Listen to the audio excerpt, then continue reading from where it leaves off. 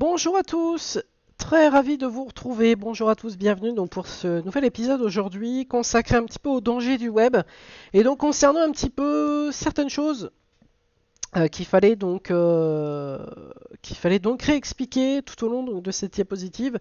On en a 22 à faire aujourd'hui et ça concerne un petit peu les dangers du web et un petit peu votre sécurité dont certaines personnes sont un peu laxistes sur vos données et sur vos datas et dont certains utilisateurs sur Internet sont très laxistes. Je parle des réseaux d'aviation, je parle aussi des réseaux sociaux, euh, et donc de sa globalité, de sa généralité aussi dans la vraie vie, euh, et des gens qui ne font pas du tout attention et qui ne respectent aucune consigne euh, à proprement parler.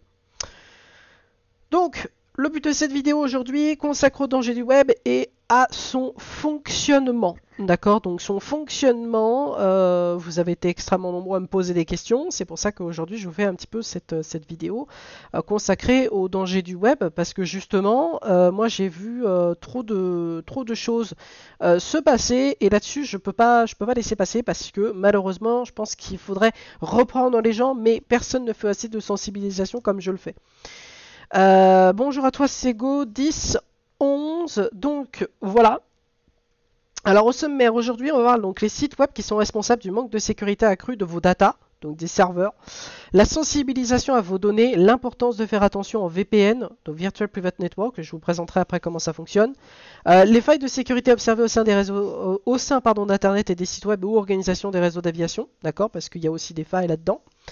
Euh, un point de différence lors des attaques informatiques sur Ivao et sur Vatsim, d'accord, parce que j'ai pu noter certaines choses en tant qu'utilisateur, et c'est pour ça que je vous fais un petit peu cette, présentation très rapide. Et enfin, le mot de la fin, d'accord alors on va un peu rentrer dans le vif du sujet. Donc les sites web qui sont responsables du manque de sécurité accrue de vos datas. Alors qu'est-ce que sont vos datas Alors c'est très important de faire un petit peu la différence. Quand vous rentrez sur un site internet, peu importe lequel, vous inscrivez sur un site marchand, peu importe lequel, vous rentrez vos données, d'accord? Donc tels que votre nom, votre prénom, votre adresse mail, votre numéro de téléphone.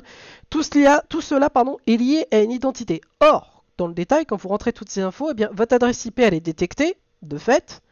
Et en fait, les sites internet, par moment, ou les serveurs qui sont derrière, par moment, ont des failles de sécurité, ont des failles de mise à jour. Et ça, là-dessus, il faut faire très attention. Pourquoi? Parce que on sait que dans Internet, on sait que sur Internet existent des pirates, des, hackers.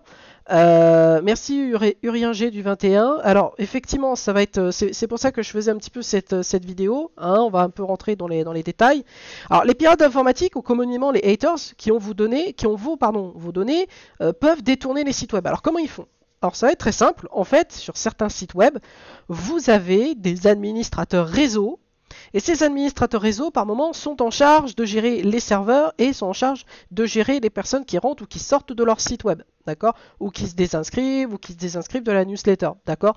Donc en fait, c'est ce qu'on appelle l'administrateur serveur qui s'en occupe ou l'administrateur réseau, d'accord? Donc ça, faut bien faire attention là-dessus.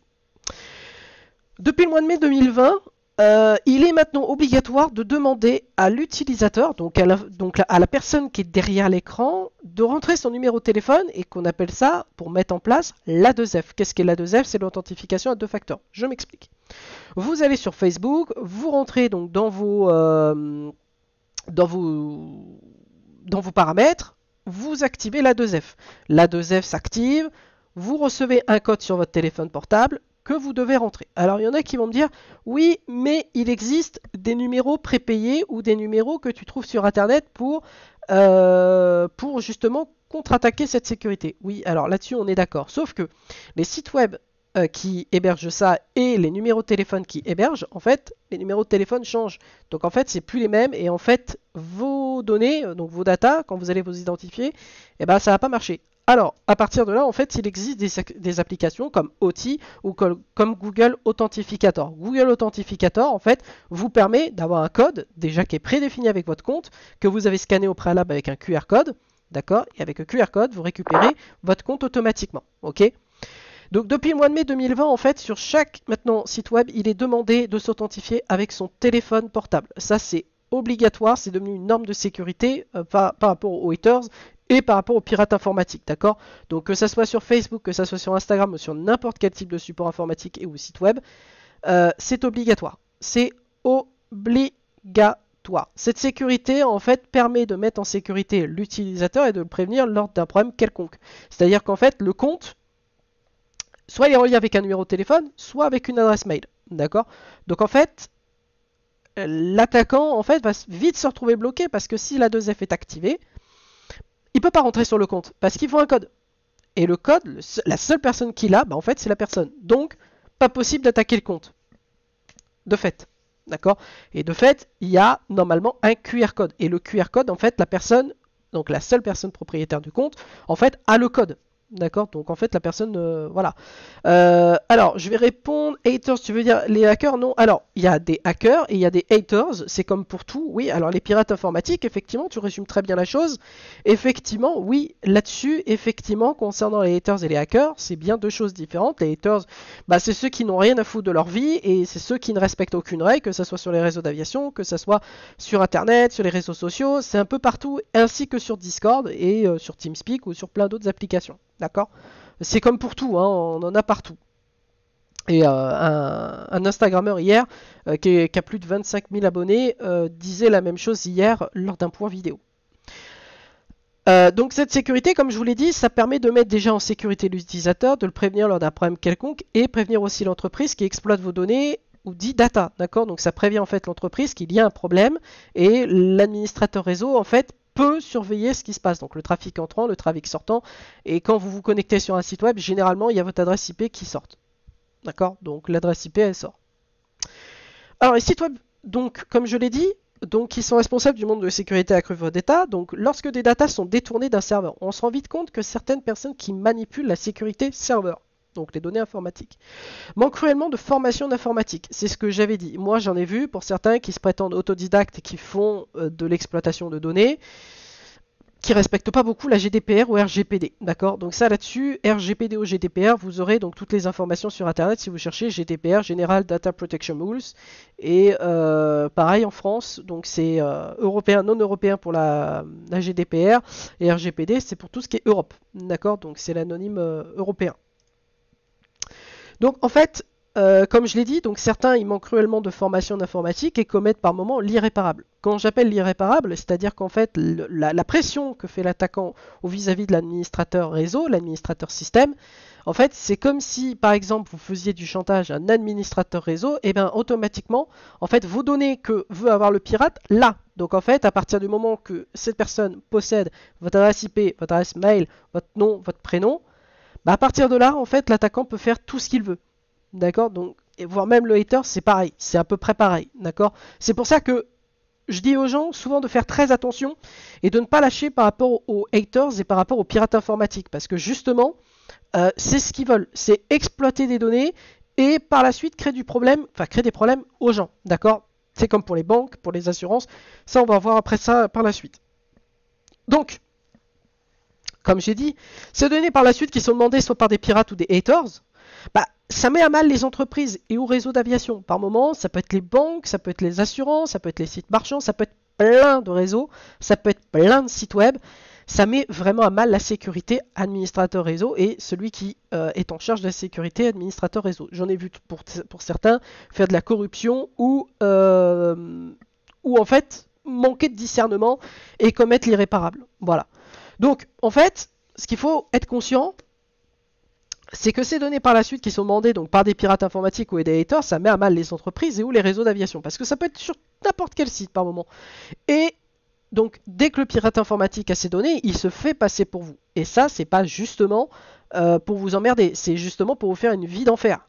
D'accord? C'est pour ça que quand moi euh, je vous avais communiqué l'affaire des 300 000 euros et quand je vous avais communiqué euh, le fait qu'un petit, une personne euh, d'un autre territoire s'était permis de m'accuser à tort d'avoir hacké son site web et sa base de données sans preuve, bien entendu cette personne aujourd'hui a fui le territoire français. Comme quoi c'est un peu compliqué de tout avoir. Mais bon, comme on est en confinement, c'est un peu compliqué.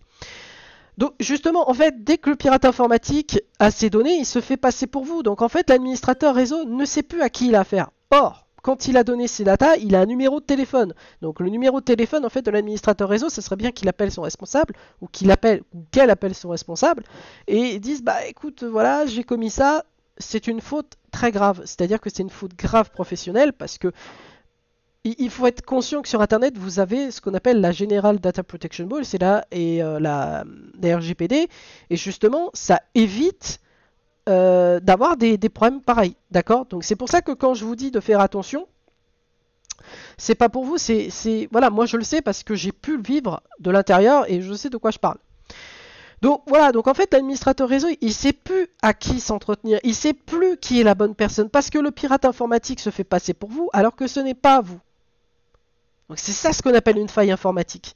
D'accord? C'est pour ça que quand je vous dis pour certains activez la 2F, rentrez votre numéro de téléphone, normalement, la personne qui est en charge administrateur réseau, c'est automatiquement avant que donc le site internet ou les, les, datas se fassent hacker ou se fassent détourner, on sait au préalable avant en backup, on sait que la personne avait soit donné sa pièce d'identité, soit son numéro de téléphone. Il suffit juste de prendre son téléphone, d'appeler la personne, lui dire est-ce que c'est bien vous?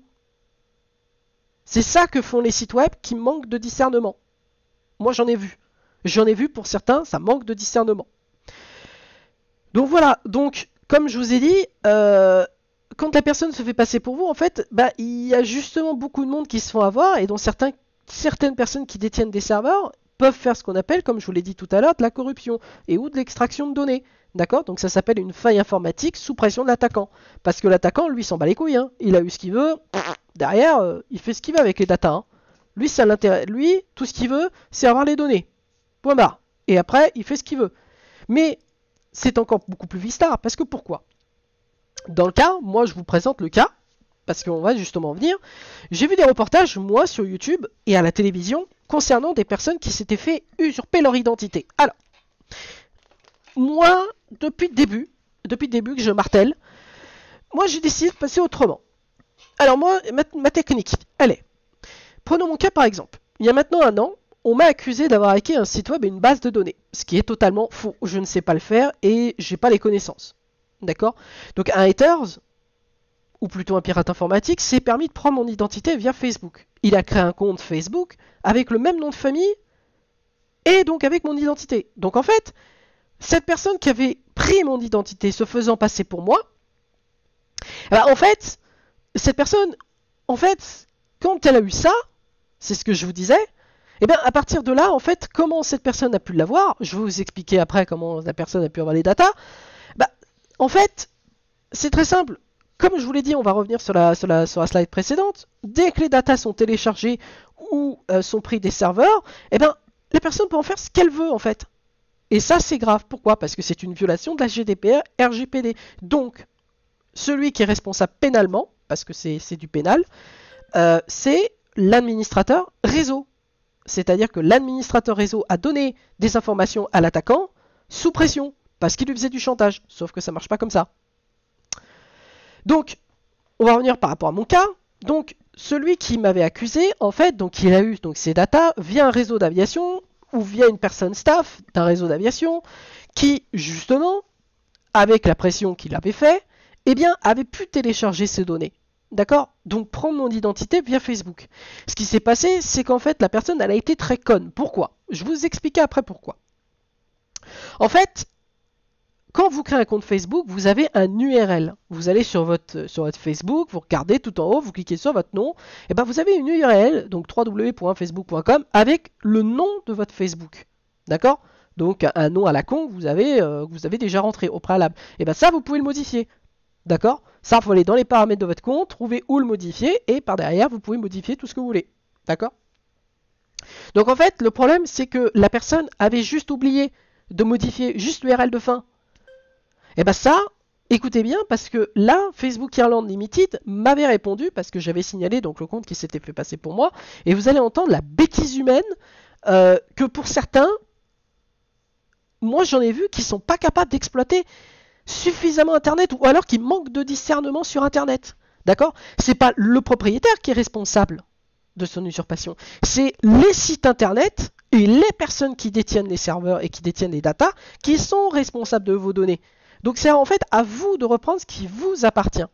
D'accord? Donc, comme j'ai dit, c'est ce hacker et ce, ce haters qui s'est permis de prendre mon identité via Facebook et de créer un compte Facebook se faisant passer pour moi. Bah, la réponse de Facebook, on va la voir. Voilà. La réponse de Facebook en 1.3, euh, il, il me dit bah, merci pour votre demande. Donc le compte Facebook donc, qui s'est fait passer pour vous a été désactivé en fonction d'une infraction à nos conditions de service. Ils m'ont donné les conditions de service, ils m'ont expliqué que voilà que le compte a été désactivé en raison de sérieuses infractions euh, à l'article 15 du GDPR, RGPD 15.4, d'accord? Donc c'est ça, ça peut porter atteinte aux lois et aux libertés de d'autres utilisateurs, c'est tout à fait vrai. Et Facebook, à ce jour, donc c'est euh, l'Irish Data Protection Commission, donc le comité irlandais chargé de la protection des données, qui est le principal organisme de contrôle de Facebook, d'accord Donc en Irlande, puisque Facebook Limited Irlande, euh, c'est Facebook, d'accord Euh, Donc voilà. Donc en fait, très clairement, moi j'avais déjà fait remonter l'information à la CNIL, la Commission nationale informatique et liberté sur notre territoire français. Je, suis en train de réfléchir si je, mêle le, comité irlandais de la protection des données, parce que je vous explique. En fait, ce qui se passe, c'est que euh, le réseau d'aviation qui a coupé mon compte, parce que ce qu'il faut savoir, c'est que la personne qui a utilisé mon identité, et ben derrière, qu'est-ce qu'elle a fait avec ça? Comme elle savait que cette personne, j'étais passionné d'aéronautique et que j'avais une chaîne, comme je vous le fais là en direct, bah, cette personne, ce qu'elle a fait, c'est qu'elle a pris mon identité. Et cette personne qui a pris mon identité, justement, eh ben, c'était une aubaine. C'est une aubaine. À un moment donné, vous avez accès à tout, votre sim il va haut. Et bien à un moment donné, vous insultez des staffs, hop, on vous coupe votre compte parce que en fait, bah c'est vous. C'est en fait avec le Facebook, en fait, on détourne le système, mais le système, enfin l'administrateur réseau n'exploite pas bien les données. C'est d'ailleurs que l'administrateur réseau, il a un nom, il a un prénom. Oui, mais il y a un Facebook. Oui, mais sauf que l'administrateur réseau doit aller chercher encore plus loin dans sa base de données. C'est-à-dire que dans la base de données, il a un nom, il a un prénom, il a un numéro de téléphone, il a une adresse mail. L'administrateur réseau ne prend pas le temps de faire de mail. Et ça, c'est grave. Parce que c'est pas vous qui êtes responsable, c'est l'administrateur réseau encore en question. Donc, on voit dans la diapositive que Facebook, donc dans la 1.3, donc dans celle-là, d'accord, on voit que Facebook a pris connaissance de ma plainte et donc du problème. Et que suite à ma demande de la suppression du compte, qui s'est fait passer pour moi, ces derniers m'indiquent quoi faire. Après un an de bataille, il aura quand même fallu attendre un an. On y découvre aussi que cela a eu de fortes répercussions, qui sont que, suite à ce qu'a fait donc la personne, qui a pris de manière volontaire dans le but de me nuire, donc mon identité, mon nom, mon prénom, mon adresse mail, etc., et ça a eu des répercussions. Parce que la personne qui m'a accusé d'avoir hacké son site internet et sa base de données de manière erronée s'est totalement trompée. Pire, on y découvre que certains haters ont tenté d'observer les failles de sécurité de certains sites web. Oui, dans des, sites web, il y a des failles de sécurité.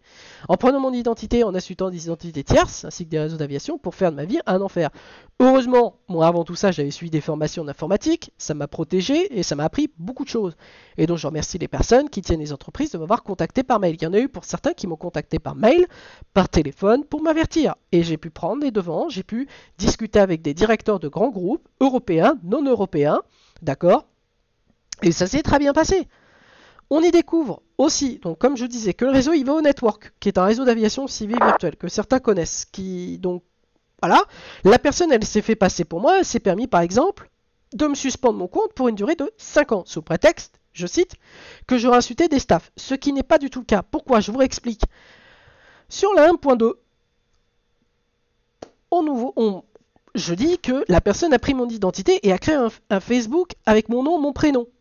Sauf que Ivao n'étant pas capable de prendre les datas, donc la personne qui est en charge de la sécurité des datas, eh bien, on se rend compte d'une chose.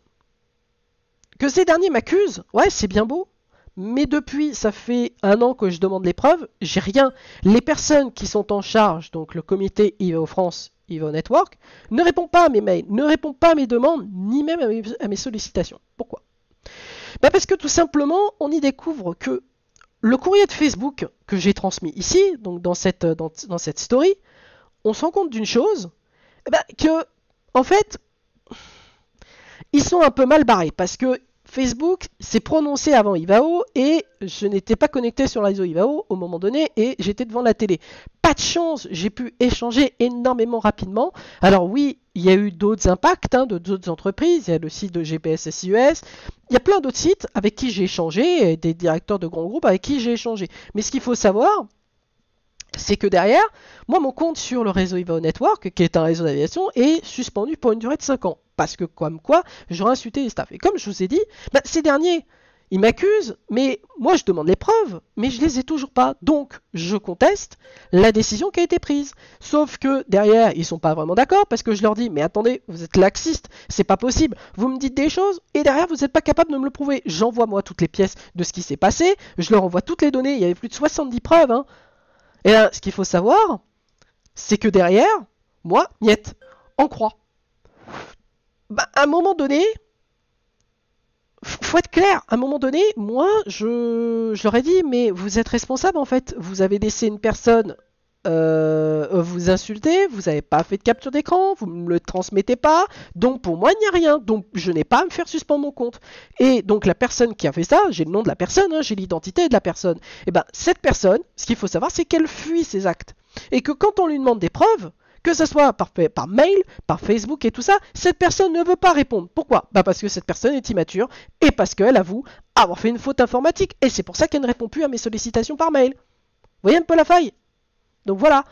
Donc quand on demande les preuves et que quand on envoie courrier de Facebook suivi du ticket d'assistance, que je vais vous montrer à la diapositive suivante, ces derniers n'en prennent pas en compte et qui disent pire que le ticket d'assistance et donc ce mail officiel de Facebook à Limited ils nous disent quoi? Bah Que c'est absurde et que j'ai pas le droit d'avoir de réponse. Ça s'appelle quoi? Du laxisme. Des personnes qui gèrent les sites web et où basent des données des internautes.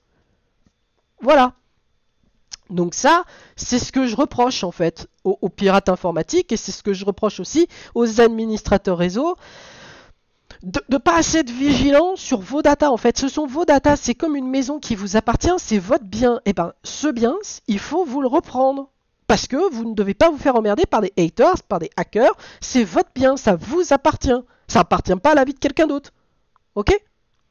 Donc, sur la diapositive suivante, on voit que le ticket d'assistance, alors ce ticket d'assistance qui a fait débat, je vous le montre. Ce ticket d'assistance qui a fait débat, qui a dit comme quoi c'est un ticket d'assistance qui est faux, qui est photoshopé, c'est faux. C'est un vrai ticket d'assistance et ce ticket d'assistance avec le numéro 11 48 195 23 160 216 existe bien dans les bases de Facebook. Il existe. Il existe parce que j'ai fait c'est vrai que j'ai fait chier un peu des, des, staffs de chez Facebook Island Limited. Euh, j'ai fait bouger les lignes. J'ai contacté Facebook Madrid, Facebook Angleterre, Facebook France, euh, Facebook États-Unis. Donc j'ai quand même fait bouger les lignes. J'ai contacté l'équipe portale de Facebook. Donc tout ça, moi je suis passé et j'ai contre-attaqué en fait Ivao derrière, donc le réseau Ivao, en disant bah écoutez, vous n'êtes pas capable, moi je vais faire votre boulot à votre place. Et je l'ai fait le boulot à, leur place. C'est-à-dire que j'ai eu des staffs d'Ivao, euh, pas des staffs des staffs pardon de Facebook, par le biais de LinkedIn. LinkedIn, comme je l'ai rappelé dans mon point concernant donc euh, l'explication de la VAT France, l'ancien staff avec le nouveau. Je vous avais fait une vidéo là-dessus en ce sujet-là. Je vous mettrai donc là toutes les informations en barre d'URL. On se rend compte que quoi? Bah, Que certains haters qui sont corrompus en provenance d'un réseau d'aviation, eh ben ils disent non non non, le ticket d'assistance de Facebook que vous voyez là à votre écran, c'est un fake et c'est photoshopé, alors que ce n'est pas le cas. Ils n'ont aucune preuve de ce qu'ils avancent. Pire, des staffs d'Ivo les ont cru. Hein. Vous voyez un peu la faille des administrateurs? C'est juste vraiment pour vous sensibiliser en fait. Faites vraiment attention. Et donc ce ticket d'assistance, en fait, il est enregistré dans les bases de chez Facebook. Donc automatiquement, en fait, bah, ce ticket d'assistance, on peut dire ce qu'on veut, mais ce ticket d'assistance dit quoi? Que le profil, on revient donc à la diapositive numéro 3, on dit quoi? On dit que voilà, ils disent que le compte Facebook qui s'est fait passer pour moi, eh ben, il était désactivé. Bon bah c'est bien, une fois qu'on a dit ça, c'est bien, donc, mais on retrouve le même message ici. Ils nous disent que le profil a été supprimé parce qu'il enfreint les règles de standard à communauté en matière d'identification, de confidentialité, que c'est bien une usurpation d'identité. Ils ont informé le propriétaire de la suppression de ce dernier, sans préciser qui nous l'avait signalé. Moi je l'avais signalé, le profil qui s'était fait passer pour moi. Ok? Donc, vous voyez les répercussions que ça peut avoir, c'est-à-dire que la personne, quand elle a votre identité, elle peut faire ce qu'elle veut. Elle peut demander une carte d'identité nationale en allant sur Dark Web ou sur le Deep Web, par exemple. Elle peut aller voir des banques. Elle peut aller voir des administrations sur le territoire français en demandant soit un justificatif de naissance, soit plein de choses. Et tout simplement, en fait, il y a des packs et des kits qui existent pour justement euh, contre-attaquer un peu le système et exploiter les failles des systèmes. Vous voyez un peu la faille? Donc quand le pirate informatique a ça, votre vie, c'est fini. Elle est un enfer. Il faut aller faire ce qu'il faut, c'est-à-dire prévenir la CNIL, prévenir les autorités, et prévenir donc les développeurs web aussi dans le passage en disant attention votre identité a été usurpée et que bah, c'est pas vous et que voilà il faut il faut stopper la machine. D'accord? Voilà. Moi c'est ce que j'avais fait concernant LinkedIn croyez-moi que j'avais fait euh, du boulot et que je m'étais pas laissé faire. En débrief dans ce premier chapitre déjà la première chose à retenir, c'est que la 2F est fortement recommandée. Ça, la 2F, vous pouvez pas y passer, vous pouvez pas y contre-attaquer, il faut l'activer. Ça, euh, là-dessus, j'en vois trop peu qui me disent sur, euh, sur Instagram, par exemple, non, non, j'active pas la 2F parce que m'en fous. Oui, sauf que la 2F, vous êtes obligé de l'activer en fait. La 2F, c'est obligatoire.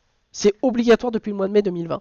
Il faut avoir une adresse mail valide, sécuriser un maximum vos réseaux sociaux avec la 2F, authentification à deux facteurs, et proposer au site web une demande accrue de votre identité. C'est-à-dire que votre pièce d'identité, votre permis de conduire, votre passeport, avec de vraies preuves que cela est bien vous et non des documents falsifiés ou scannés. D'accord? Donc par exemple, votre pièce d'identité, vous l'avez sur votre disque dur, vous l'envoyez. D'accord? Pareil pour votre permis. Vous avez une photo, vous avez une, vous capture de votre, pièce d'identité, il vérifie, vous envoyez tout. Hein. Et bien à partir de là, vous envoyez tout ça, et c'est réglé. Si c'est pas suffisant, vous envoyez une facture de téléphone, boum, avec le nom de l'opérateur. Mais il y en a qui trouvent les moyens de, se faire passer pour l'opérateur. Voilà, est-ce que ce premier chapitre, pour certains, dans mes explications, est-ce que pour certains ça a été clair dans mon premier chapitre? Parce que là, je vais répondre aux questions. Euh, parce qu'on a un deuxième chapitre à voir derrière. on, en a on en a trois à voir, mais euh, le reste va aller assez vite.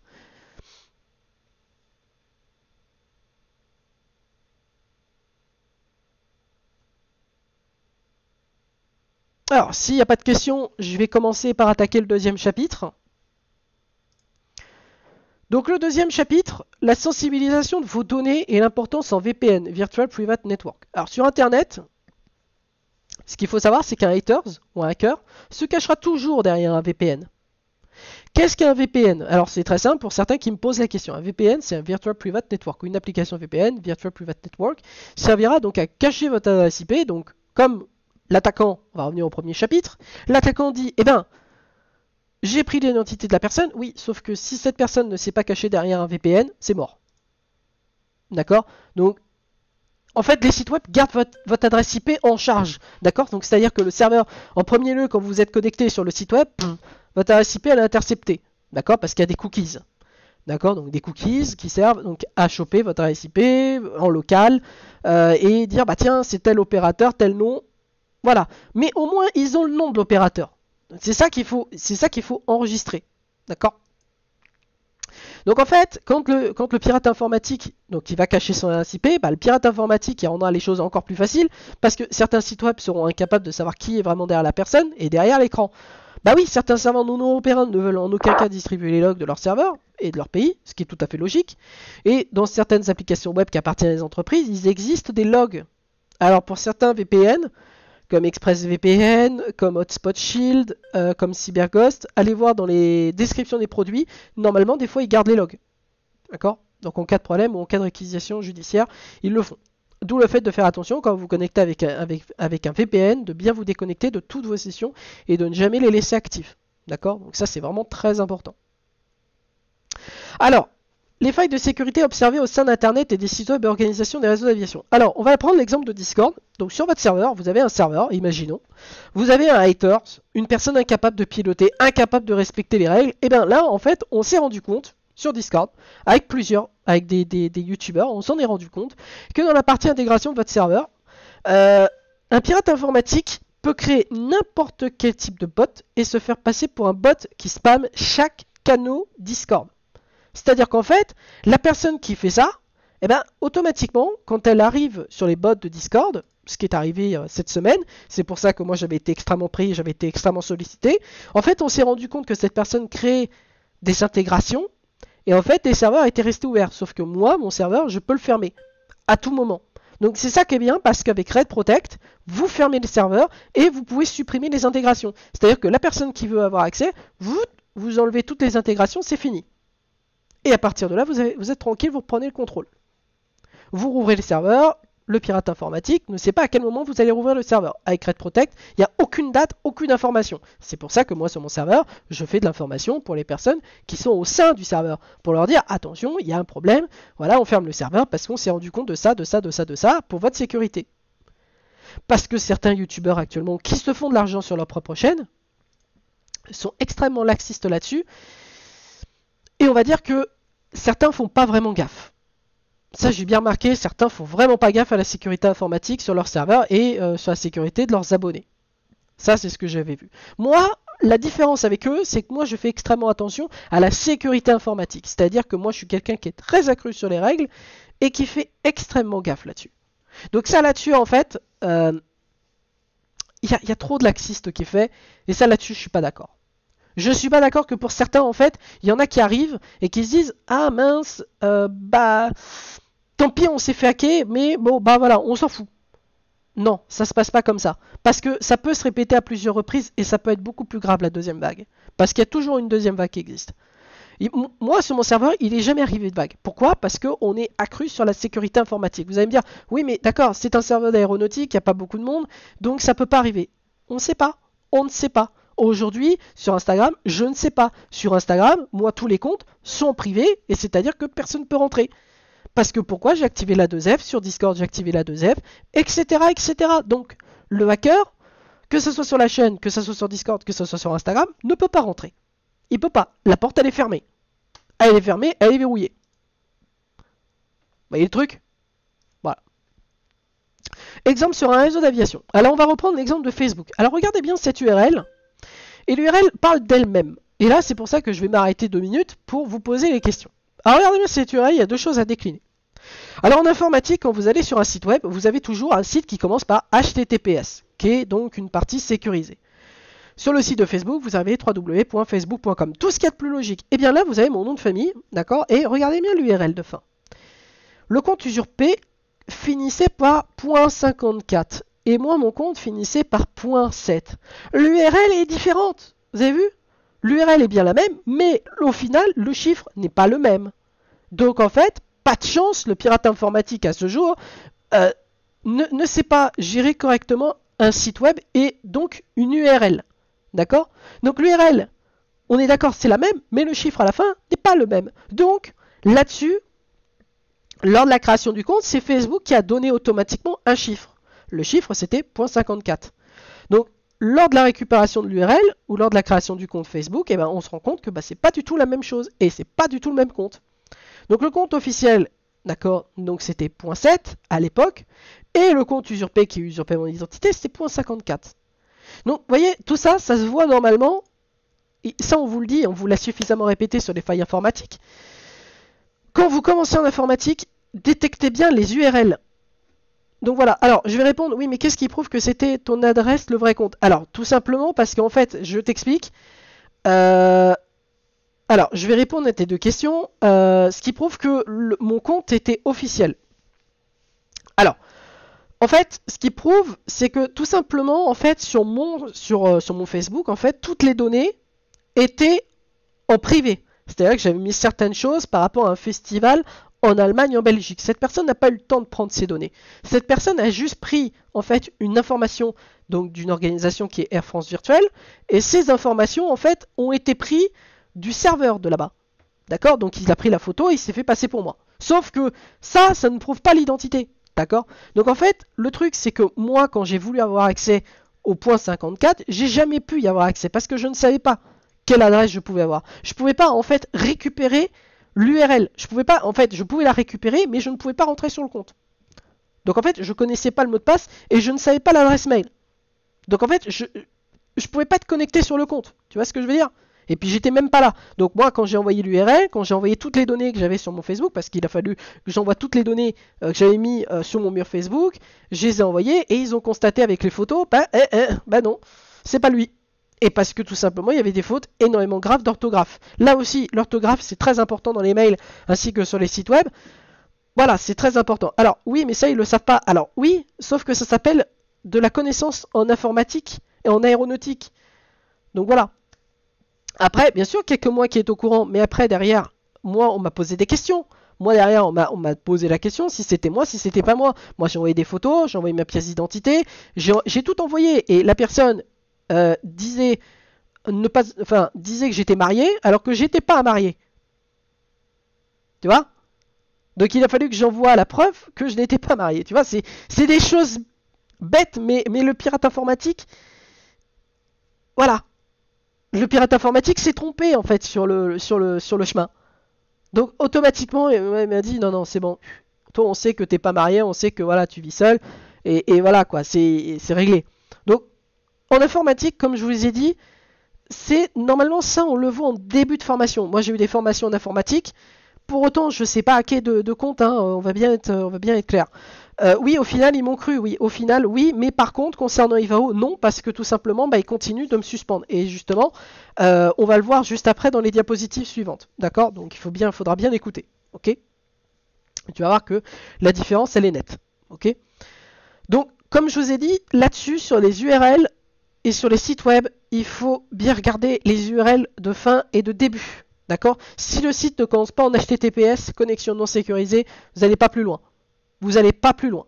D'accord? C'est pas plus compliqué. Si HTTPS n'est pas présent devant, s'il n'y a pas un cadenas euh, ou un site web qui est bien sécurisé, ça ne sert à rien de rentrer vos données. Ça veut dire que c'est un site faux, un site fake qui va prendre vos données.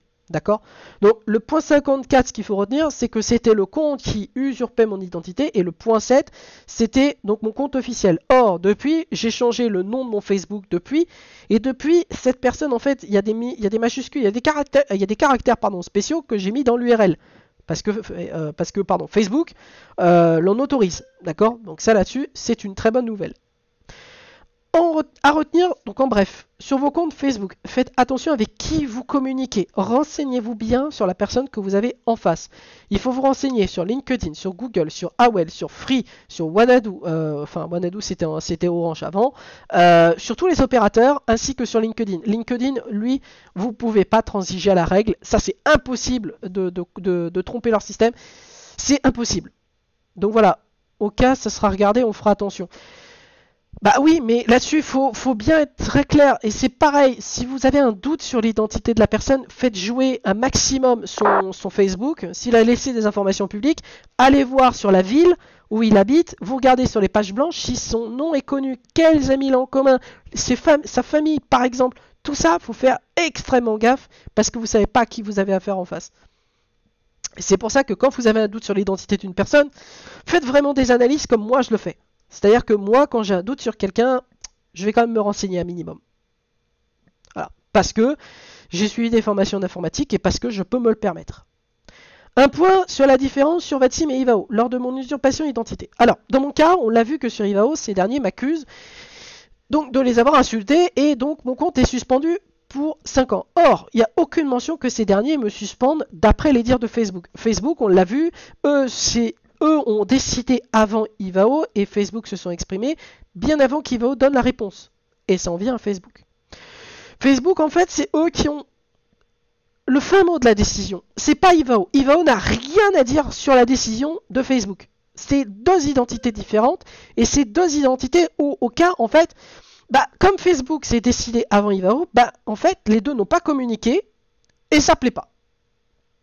Parce qu'il y en a qui me disent Oui, mais tu dois recevoir un mail en automatique. Alors, je vais répondre. Je vais répondre. Quand vous êtes victime d'une usurpation d'identité, vous ne recevez jamais de mail. Jamais. Vous recevez un ticket d'assistance, comme je vous l'ai montré, en diapositive. Regardez, sur cette diapositive-là, vous recevez toujours un ticket d'assistance sur votre compte. D'accord? Donc sur votre compte officiel, hein, pas sur le compte qui a usurpé l'identité. Celui qui a usurpé votre identité, il reçoit un avertissement, connexion coupée, il se fait déconnecter. À peu près normal. Donc, voilà, en fait, c'est ce que je vous disais, en fait. C'est-à-dire que Facebook dit, eh ben, c'est pas lui. Euh, et en fait, l'équipe portale de Facebook que j'ai au téléphone m'ont dit, on va faire remonter votre dossier auprès des superviseurs donc de, Facebook et on vous retiendra au courant. Ils m'ont tenu au courant. Ils m'ont dit, non mais en fait, vous inquiétez pas parce que c'est pas vous. C'est pas vous, on a l'adresse IP, c'est pas vous. Vous voyez? Facebook a même votre, on connaît plus que vous. C'est pour ça que quand je vous disais attention à faire attention, voilà. Et donc Facebook, en termes final, a validé la piste de mon usurpation d'identité. Et donc il n'y avait pas matière à me suspendre sur le réseau IVO Network. Parce qu'il n'y a aucune preuve de ce que dit IVO France. À ce jour, il n'y en a aucune. Il n'y a, rien qui permet de dire bah c'est lui, c'est pas lui. Il n'y a rien du tout. Rien ne le permet de le dire. Et tout simplement, ceux qui ont mis euh, des, des, suspensions abusives, bêtes, bah, au final, ils respectent pas du tout les règles de la GDPR. Ils sont en fait en illégalité la plus totale. C'est-à-dire que si la GDPR ou la Commission européenne euh, de la CNIL, la Commission nationale d'informatique et liberté, et donc de la GDPR européen, leur tombe dessus, ils leur diront mais euh, vous n'avez pas à suspendre le compte là, vous le réactivez. Et le gars, s'il veut pas le réactiver, c'est une amende. Je crois que c'est ça qu'ils font. Donc vous voyez, on peut pas faire ce qu'on veut sur Internet. On peut pas suspendre un compte comme ça. On peut pas. Il y a des règles, et les règles sont les mêmes pour tout le monde. Alors un point de différence. Alors sur Vatim, certains ont tenté d'exploiter une faille. Alors, certains ont détourné, en fait, ont essayé de détourner la même sécurité qu'ils ont fait sur Vatim. Or, ces derniers sont, sont pétés à un mur. Pourquoi? Alors, sur Vatim, quand vous êtes victime d'un vol d'identité, il faut savoir plusieurs choses. Vous recevez un mail qui vous prévient. Et vous devez transmettre vos, vos papiers d'identité. Carte d'identité, passeport, permis de conduire, ou tout, document en fait qui permet de bien confirmer que vous êtes victime d'un vol d'identité et d'expliquer votre cas, d'expliquer voilà, qu'il y a quelqu'un qui se fait passer pour vous et que ce n'est pas vous. D'accord? Il y a une enquête qui est faite ils vont contacter les administrations de votre pays. Donc s'il y a un représentant français, il va contacter le représentant français et le représentant français fera une enquête. D'accord? Donc en fait, là-dessus, c'est extrêmement sécuritaire parce que on peut pas frauder. On peut pas frauder. Il y en a un qui met un faux, nom, il y a un doute, il, verrouille le compte. Eux, ils, ils pensent même pas à la personne en face. Ils verrouillent le compte s'il y a un doute. Voilà. C'est pour ça que quand je vous dis de bien expliquer votre cas par mail, c'est expliquez-le correctement parce que sur votre sim, quand vous êtes victime d'un vol d'identité, vous devez faire un mail. Ça, c'est obligatoire. Vous devez tenir tout le monde, même les superviseurs, vous devez leur dire écoutez, voilà, je suis victime d'un vol d'identité, est-ce que vous pouvez faire quelque chose? Vous donnez vos papiers d'identité, permis de conduire, carte d'identité, passeport, permis, tout document qui permet de, justifier votre identité et expliquer ce qui vous, arrive. D'accord? Sur Ivao maintenant. Bah, sur Ivao, c'est pas la même chose. Sur Ivao, vous pouvez pas, vous pouvez pas envoyer vos données. Alors on vous dit, oui, oui, tu peux envoyer ta carte d'identité, moi ils me l'ont jamais demandé. Ils ne me l'ont jamais demandé. Ils m'ont jamais rien demandé. Alors moi j'ai envoyé des preuves, hein. moi je, leur ai tout envoyé. Aujourd'hui ils ont plus de 70 preuves à analyser. Et ils me disent quoi? Que les 70 preuves c'est bête, absurde et que ça tient pas la route. Pire que la décision de Facebook, eh ben non, ils la respectent pas parce qu'ils n'ont rien à leur dire. Voilà. Donc, voilà, c'est pour ça. Alors, euh, G du 21, plus de son. Si, si, il y a du son, je vois pas. Problème technique, hacking en direct. Non, non, il n'y a pas d'hacking en direct, euh, ne t'inquiète pas. Non, non, il y a toujours du son. Euh, moi, je m'entends. Est-ce que Sego 10 11 peut me confirmer qu'il y a toujours du son?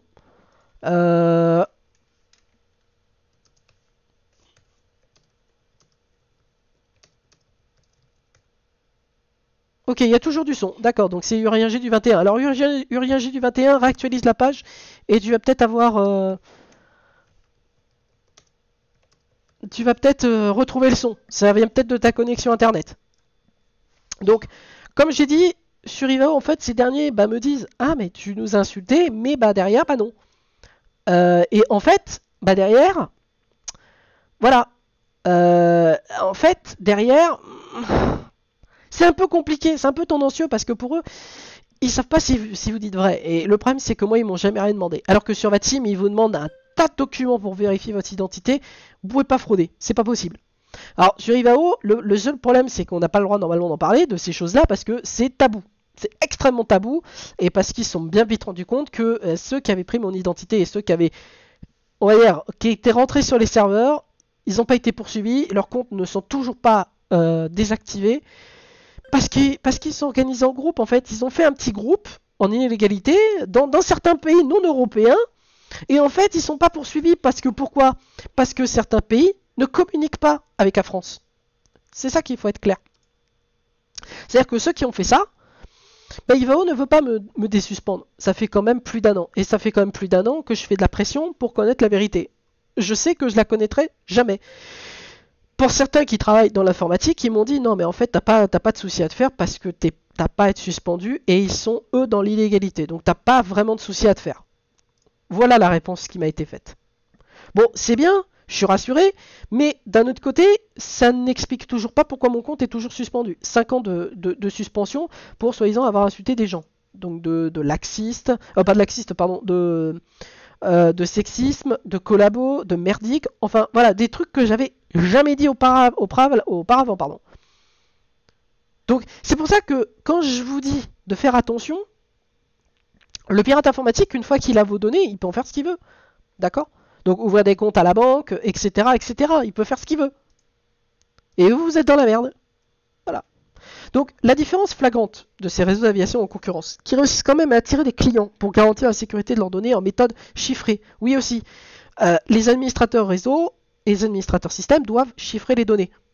Et donc de fait de garantir votre sécurité sur Internet. Parce que vous, vous êtes d'accord, vous créez un compte, vous arrivez sur un site web, vous ce que vous voulez, c'est avoir accès au site web, et donc au moins être sûr que vos données sont sécurisées un minimum. Si vos données, pardon, vos données ne sont pas sécurisées un minimum, vous pouvez pas. Vous ne pouvez pas garantir que euh, vos données ne vont, pas être détournées ou ne vont pas être envoyées à des, euh, à des concurrents pour faire de la pub ou euh, pour utiliser votre nom. C'est ça, c'est là-dessus où il faut être très clair, et c'est pour ça que moi, quand j'ai été victime d'une usurpation d'identité, j'ai travaillé avec des entreprises, et ces entreprises aux quatre coins du monde, quand j'ai échangé par mail, bien sûr, j'étais en décalage horaire avec eux, parce que les États-Unis, il faut savoir que c'est moins 7 en décalage horaire, euh, c'est extrêmement compliqué de les avoir. Quand vous, c'est la nuit, euh, par exemple en plein milieu de nuit chez vous, eh ben, pour eux, c'est quasiment presque la fin de la journée, donc il n'y a presque plus personne dans les, bureaux. Bon, ça paraît logique. Voilà, donc voilà. Euh, le mot de la fin. En quelques, mots, à retenir en tous ces points, à destination des entreprises. Alors, déjà, ce qui sera bien, c'est de se mettre aux normes. Côté numérique et informatique, garantir la sécurité data des clients et ou des internautes. Ça, c'est vraiment primordial. Ça, c'est vraiment, euh, c'est vraiment un point vraiment extrêmement important. Ça, c'est vraiment très très important. En cas d'attaque informatique, activez immédiatement sur Facebook, Instagram, Snapchat, Discord la 2F authentification à deux facteurs. La 2F, ça va vous sauver la vie et ça va vous permettre justement à ce que le haters ou les, ou les, hackers ne puissent plus attaquer votre compte et se heurter à un mur. C'est-à-dire que quand il va voir que la 2F est activée et que c'est vous qui êtes propriétaire de votre numéro de téléphone, il pourra plus faire grand chose. Parce que bah en fait, euh, ouais, il pourra créer un compte qui se fait passer pour vous, sauf que si les sites web sont déjà au courant, bah il pourra pas. Il pourra pas aller plus loin. Voyez? C'est comme ça qu'il faut penser. Il faut toujours avoir des coups d'avance sur les haters et sur les hackers. D'accord? En quelques mots aussi à retenir en tous ces points. Activez aussi les alertes SMS et mails vers et où depuis votre boîte mail et ou vers votre numéro de téléphone. Sur Facebook ainsi que sur euh, tous les réseaux sociaux, vous avez des alertes SMS, des alertes mail qui vous arrivent par message. On vous dit voilà, il y a quelqu'un qui a activé votre connexion depuis telle adresse IP, telle ville, tel lieu. Si vous avez un doute, si par exemple vous voyez une connexion suspecte qui est en Malaisie avec une ASIP qui n'est pas française, voilà, c'est qu'il y a un problème. C'est qu'il y a un hacker qui est passé à travers les failles de sécurité. Et ça là-dessus, faut faire extrêmement gaffe. Prévenez immédiatement aussi vos contacts et faites des communiqués réguliers. Donc quand vous voyez que vous êtes victime soit d'une attaque informatique, soit de quelqu'un qui veut usurper votre identité, vous devez prévenir tout le monde. C'est une règle fondamentale. Vous voyez une adresse IP qui n'est pas la vôtre, vous coupez, vous allez sur votre compte, vous coupez la connexion à ce type-là, vous changez votre mot de passe, vous activez la 2F, vous refaites une vérification si tout est OK, et normalement tout est OK. C'est bon? Envers les entreprises et aux réseaux d'aviation, de mettre en place aussi des structures et ou serveurs permettant de sécuriser les données ou data du client. Exemple, carte d'identité, passeport, permis permettant de vérifier l'identité de la personne lors de la création du compte. Ça, ça devrait exister. Même avec la 2F, ça devrait aussi exister. Pour certains sites web, j'en ai vu qui n'activent pas. Dans les banques, ils sont mis enfin au numérique. Dans les banques, moi j'ai pu essayer. Et eh bien, ils vous demandent la 2F, ils vous demandent l'authentification à deux facteurs, c'est-à-dire de prendre votre numéro de téléphone, de rentrer un code et euh, c'est bon. C'est ça qui devrait exister sur chaque site web. C'est pas à vous de, faire des efforts si les sites web en face, si les administrateurs réseau ne font pas suffisamment ce qu'il faut pour sécuriser vos datas. D'accord? C'est comme un bien qui vous appartient, il faut vous le récupérer. D'accord? En quelques mots à retenir en tous ces points. Pour revenir à Ivao et à Vatim. Sur Ivao, malheureusement, mon compte est toujours suspendu et ce de manière abusive. Ça, c'est ce qu'il faut être. Il faut, être très clair. Sur Vatim, concurrent, mon compte a été protégé et ce de manière efficace. J'ai la 2F, j'ai envoyé tous mes documents, pièces d'identité, permis, etc. etc. J'ai expliqué mon cas. Depuis, j'ai plus de problème. Vous voyez un peu la différence. Il y en a qui ont voulu exploiter les failles, ils n'y ont pas réussi. Pourquoi? Parce que Vatim est capable de faire du bon boulot. Je vous vends pas vous vends pas les mérites de Vatim, mais je vous dis que sur Ivao, ils n'ont pas été capables. Ils n'ont pas été capables. Pourquoi? Parce que ils veulent pas regarder les preuves. Ils veulent pas regarder que Facebook, au compte final, a raison. mais il y en a qui continuent dans leur conneries. L'humain est bête, hein, faut être très clair, l'humain est bête et feignant. Euh, il y en a qui continuent dans leur conneries, malheureusement. Depuis le mois de mai 2020, en France et en Europe maintenant, il est demandé et rigoureusement demandé et obligatoire d'activer sur vos réseaux et au site web d'activer A2F, authentification à deux facteurs. Cela en devient malheureusement partout obligatoire. Sur chaque réseau d'aviation, euh, sur chaque site web que vous allez rencontrer, euh, voilà, ça, permet en fait justement d'éviter la 2F euh, des, problèmes quelconques. Alors merci à Sego 1011, super stream, très bonne explication, merci à toi. donc voilà, c'est ce que je dis en fait. Si y en a qui n'activent pas la 2F, vous êtes responsable de vos données et vous êtes responsable d'une attaque informatique parce que vous n'avez pas sécurisé vos comptes suffisamment drastiquement et vous n'avez pas fait ce qu'il fallait pour garantir la sécurité des personnes qui vous suivent et des personnes avec qui vous discutez. Ça aussi, parce que vous pouvez mettre en danger les personnes avec lesquelles vous discutez. Parce que vous ne faites pas attention à vos données, vous ne faites pas attention à vos discussions, vous ne faites pas attention à ce que vous échangez. C'est ça qu'il faut comprendre. D'accord? Un mot sur le haters maintenant. Alors, un mot sur ce qui s'est passé la semaine dernière. Pour en revenir à ce qui s'est passé la semaine dernière sur Discord. Alors, je vous explique un peu ce qui s'est passé. La semaine dernière, une personne, on sait de quel pays il vient, on sait comment il fait, on sait comment il joue. C'est permis en fait avec un point logistique, parce qu'il ne sait pas piloter, il fait que troller des serveurs. Cette personne s'est permis d'attaquer des gens par un support massif d'une personne qui est sur un autre territoire, en dehors de la France. On sait que cette personne, depuis le début, m'accuse à tort d'avoir hacké sa base de données et son site web. Donc en fait, il s'est appuyé de cette personne en termes de partie logistique pour de l'aide pour tout ce qui est failles informatiques. Parce que cette personne sait déjà et connaît déjà les failles informatiques. Donc de fait, on connaît déjà les tactiques de cette personne et comment il agit maintenant. Donc on a mis en place, puisque cette personne en fait est passée sur Discord, il est passé dans la partie intégration. Vous allez sur votre serveur, paramètres, intégration et vous regardez s'il n'y a pas déjà des, des, webhooks, parce que ça fait partie des webhooks, vous regardez s'il n'y a pas déjà des webhooks d'activer qui ne vous appartiennent pas. Ça là-dessus, faut penser à les supprimer, parce que c'est une faille de sécurité. Donc ça, vous en êtes responsable.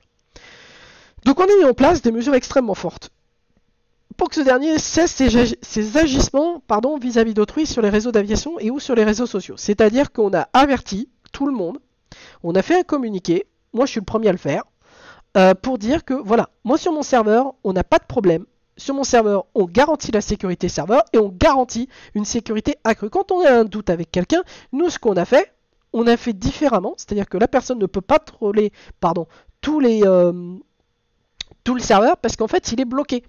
Il est bloqué juste à quelques canaux à qui peut nous écrire. Nous, si on se rend compte qu'il y a une attaque informatique, on verrouille l'entrée, terminé on a déjà eu des personnes contentées, on a verrouillé les accès, on les, a réactivés en plein milieu de nuit, je peux vous assurer que ça calme tout de suite. Les gens ils se disent putain, euh, attends, c'est quand même vachement dur quand même. Oui, c'est dur. Mais parce que pourquoi? Parce que moi je garantis la sécurité serveur. Et je sais garantir la sécurité serveur. C'est pour ça que quand je vous dis de faire attention, voilà, nous on est les premiers à dire et on est les premiers à marteler que certains sont pas capables de gérer des données des data sur des serveurs qui ne leur appartiennent pas. On s'en est vite rendu compte. Donc c'est pareil sur les réseaux d'aviation et sur les réseaux sociaux. Nous, on a mis en place un signalement massif contre cette personne. Cette personne, on a dit, écoutez, c'est pas un vrai nom. D'accord? Donc la, la, personne qui a trollé cette semaine, on connaît son nom, on sait qui c'est. Cette personne ne sait pas piloter, ne sait pas utiliser Internet et troll des serveurs. Donc on a fait une remontée d'informations communes. Et ces informations communes, bah, on se rend compte que, en fait, tout le monde est déjà au courant, mais personne ne bouge. Donc après, vous, vous avez signalé le, problème. C'est plus vous qui vous en occupez.